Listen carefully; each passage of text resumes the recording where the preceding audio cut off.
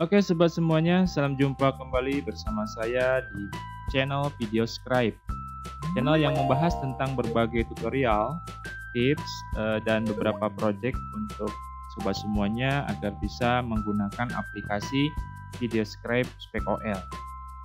Pada video kali ini saya akan membahas sebuah pertanyaan atas nama Yokawan TV. Di sini beliau bertanya, kalau sebelum proses pewarnaan ada adegan pengambilan warna dari palet, apakah bisa bang?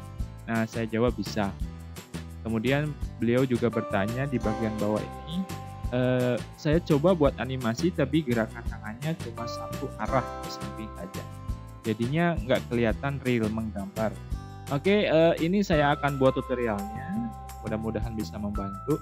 Kurang lebih e, tampilannya seperti ini ya saya akan coba. Jadi pewarnaannya ngambil warna dari palet ini.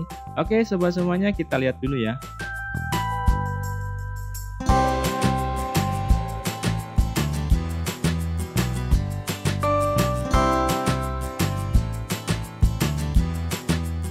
Oke sobat semuanya, saya stop dulu. Di sini saya jelaskan bahwa tadi animasi tangannya memilih dulu warna yang sebelah sini, kemudian melakukan pewarnaan.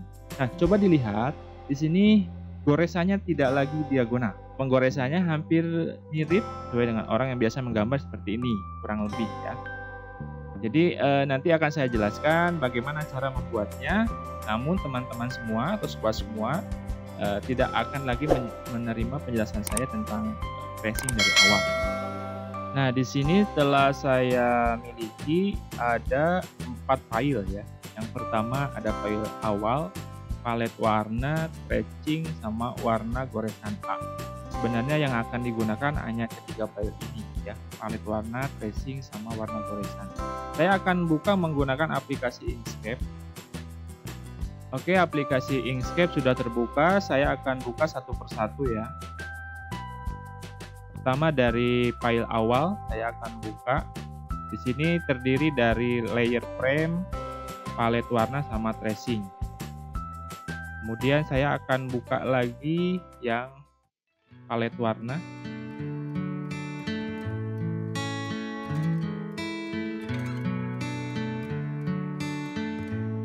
Oke, ini sudah saya buka keempat file. Mulai dari pembahasan awal di sini eh, terdiri dari tiga. Yang pertama yang saya jelaskan pertama frame Frame ini untuk apa? Frame ini adalah batasan atau sebuah kotak ya. Kotak yang akan memberi batasan agar nanti si objek yang ada di dalam kotak tidak berubah posisinya ketika dimasukkan ke dalam video scribe. Ada terlihat kan? Ini adalah struk dari uh, frame. Ini untuk apa? Tadi saya jelaskan ini adalah batasan agar si objek tetap masih dalam posisi yang sama. Kemudian palet warna. Nah, ini palet warna uh, adalah objek yang pertama kali mungkin animasi pada video script untuk menggambar. Kemudian tracing, baru ke pewarnaan. Nah, jadi selanjutnya uh, saya akan buka ke bagian tracing dulu.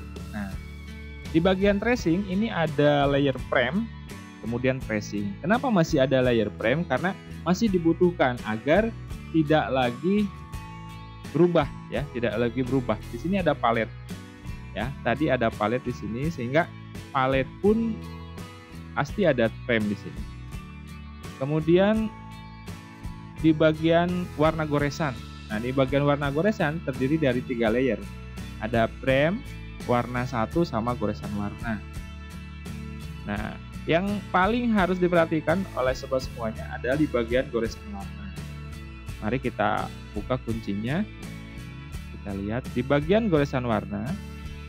Oke, sorry kita kunci dulu yang warna dan frame. Di bagian goresan warna ini sebenarnya adalah sebuah coretan dari tool Draw Freehand. Ya, kalau kita lihat di stroke pen-nya kita kasih warna.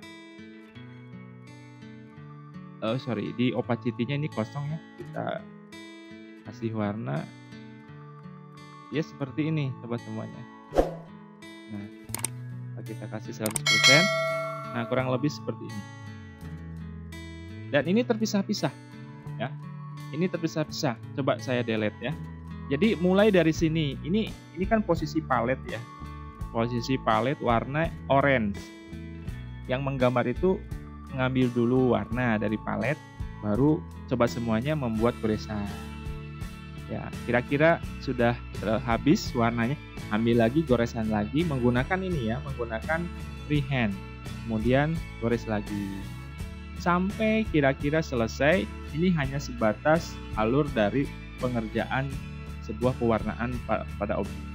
Nah, jika sudah, maka di blok ya, di blok kemudian struknya dihilangkan, kemudian opacity-nya juga ya opacity dari struknya ini dihilangkan ya atau dinolkan.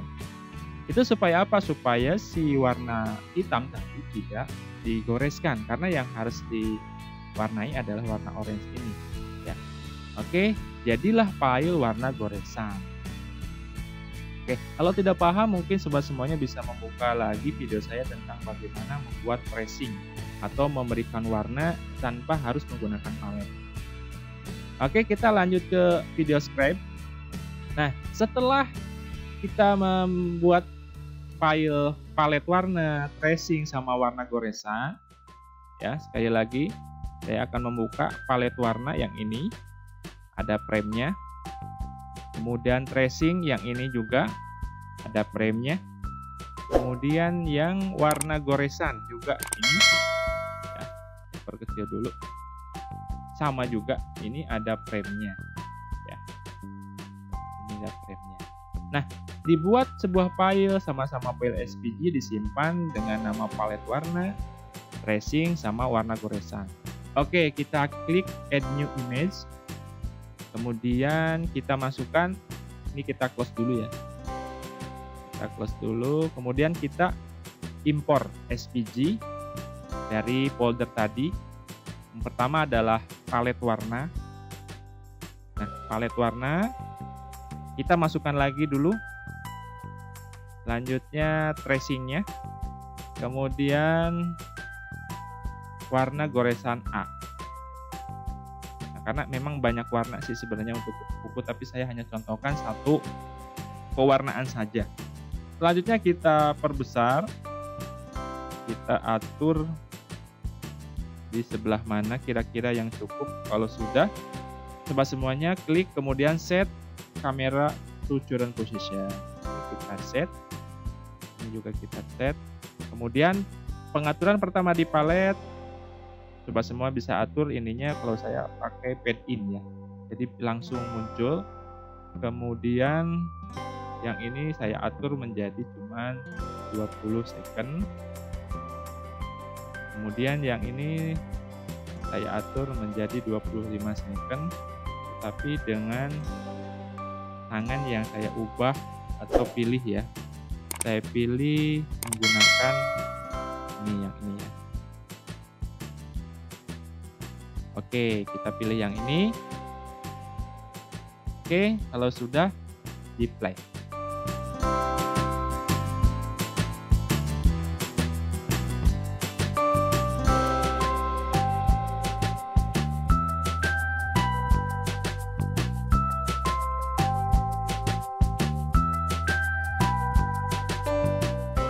Oke sobat semuanya, tutorial yang saya buat ini mudah-mudahan bisa menjawab pertanyaan dari seseorang yang ada di kolom komentar tadi.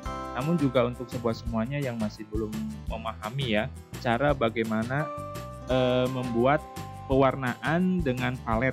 Tentunya akan lebih menarik ya untuk membuat konten-konten belajar mewarnai untuk anak-anak. Oke, sobat semuanya juga kalau ada yang kurang paham silakan ketik saja di kolom komentar.